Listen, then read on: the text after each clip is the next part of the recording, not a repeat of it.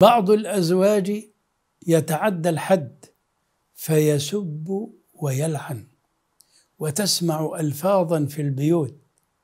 لا شك أن السب واللعن ليس من أخلاق المؤمن ولا من صفاته.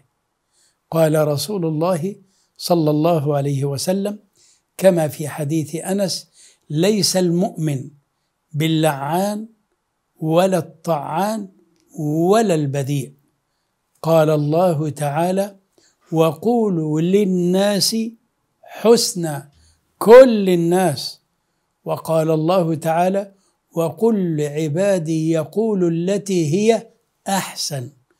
وقل لعبادي يقول التي هي أحسن. وأحسن الكلام يقال لأقرب الناس وهي الزوجة. لهذا قال رسول الله صلى الله عليه وسلم خياركم خياركم لأهله. أكملكم ايمانا أحاسنكم أخلاقا. استوصوا بالنساء خيرا كلمة خير خير في القول والفعل.